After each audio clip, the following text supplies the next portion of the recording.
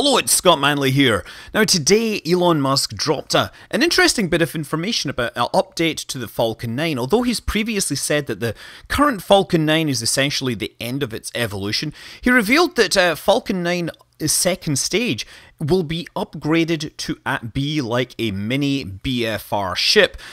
And a few people asked for some clarifications, and it seems that this is going to be intended as a orbital velocity test bed for the technologies that the BFR or BFS are going to use for landing and descent. If you remember previously, the BFS has undergone some changes to the design, including actuating fins to control its descent in a kind of skydiver pattern. We had a lot of fun a while back just trying to simulate this using Kerbal Space Program along with some fly-by-wire software I'd written using Kerbal RPC. But software can only do so much, and real world testing is obviously going to be preferred.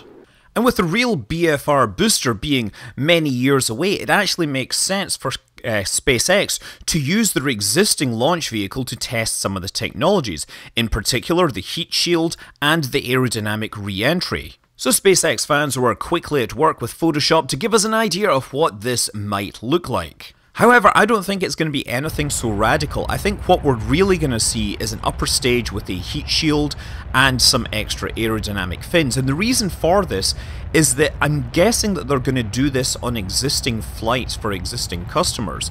So the you know SpaceX has done this in the past. They've modified their spacecraft and they've added new features because they want to do iterative testing on hardware as it's launching. So if they were to change the upper stage significantly, if they were to change the payload adapter, change the fairing, that would mean the customer would have to change things. If they changed out the Merlin engine for a Raptor, that would probably change their mass limits and their accelerations. If the fairings were replaced with a pair of uh, doors, essentially, then that would change the payload deployment, and it would also mean that they would be carrying extra hardware into orbit. And given that they're also working on fairing recovery, I- am not sure that that's what's going to happen. I think what you're going to end up with is, is essentially a core upper stage with extra fins and with the all important heat shield. This way the customer doesn't have to change anything. They can still put their existing payloads into low Earth orbit and then after the payloads are deployed, SpaceX is free to do the experiments they want on their uh, upper stage with the new hardware installed. Now that extra hardware obviously is going to add a mass penalty, but I don't think the customer is going to have to worry about that because SpaceX actually has a built-in margin that it can compensate for because all these tests are going to be on the low Earth orbit uh, spacecraft initially. And the the spacecraft are going into low Earth orbit. All those boosters are doing return to launch site recoveries these days. SpaceX have the barges if they need to recover boosters for higher energy injections, and those are all associated with the geostationary launches. So if this extra hardware pushed the uh, customer up over their limit, they could then turn and use a barge landing instead. So they, they would have room for this.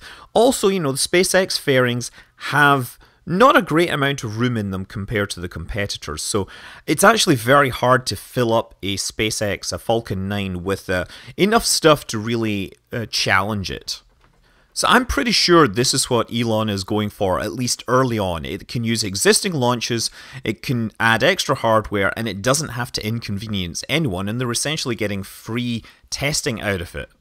But of course, there are many technical challenges. First of all, that uh, upper stage, right now, a lot of the mass is near the rear where the engine and the plumbing all are.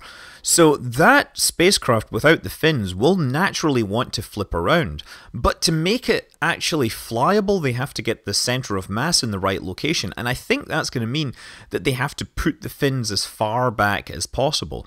On top of that, the the Merlin vacuum engine has a very large nozzle extension, which is going to be pretty sensitive. So even if they do bring this down to reasonable re-entry speeds, I think it's entirely likely that that uh, nozzle extension at the very least won't survive the re-entry. Elon already confirmed that they won't be able to perform propulsive landing because the nozzle extension will lead to flow instability. The vacuum engine, uh, because of its very large nozzle, when you try to blow the rocket, uh, you know, through it, uh, because the pressure of the gas will be too low, the combustion won't be stable, so they can't really use it at sea level. Now they could use parachutes, but the you know SpaceX haven't had a great history with parachutes. They might use some sort of uh, wing, your para wing kind of thing, to try and catch it. They of course have a pair of boats that have been trying to catch the fairings, but they haven't had a great deal of success with that. Obviously, the aerodynamics can be evaluated using uh, you know telemetry. The heat shield might they might want to recover bits of that for actual testing. Perhaps in time they will decide to actually integrate a Raptor into the second stage, but I, I actually don't think it's needed for any of their customers, so that's the questionable utility of actually doing that. Even although they did get money from the Air Force to investigate using this as an upper stage. Similarly, I don't see the you know the integrated clamshell style fairing actually turning up anytime soon because they're going to be using this mainly with customer launches, I believe. So that that's what I think is going to happen. I could be totally wrong. We could actually see a real mini ITS, which would be pretty amazing. But SpaceX would first of all have to find customers whose payloads could work inside this and would be willing to take a risk. And so I think my scaled down concept makes more sense given the June 2019 date that Elon has already given. I'm Scott Manley fly safe.